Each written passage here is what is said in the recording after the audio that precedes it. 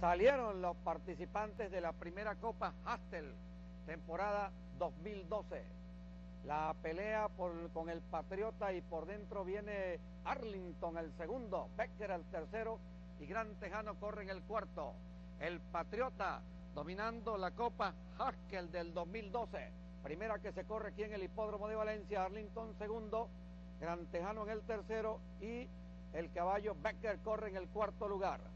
Domina el Patriota con cuerpo y medio de diferencia, agrupados allí por dentro Arlington.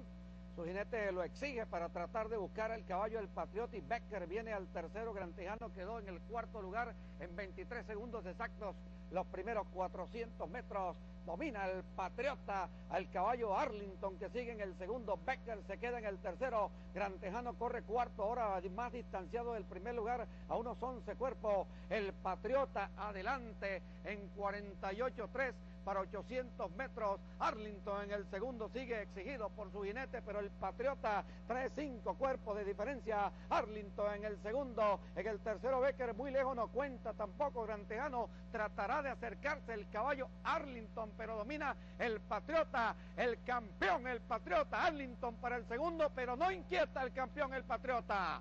Le pone punto final a la Copa Haskell. En el segundo está Arlington. En el tercero, Becker y último, Gran Tejano.